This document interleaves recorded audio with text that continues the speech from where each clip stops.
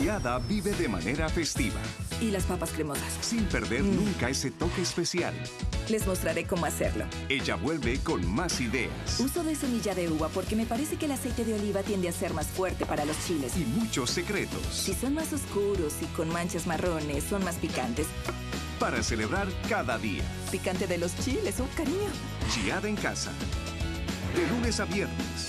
Solo aquí en Food Network.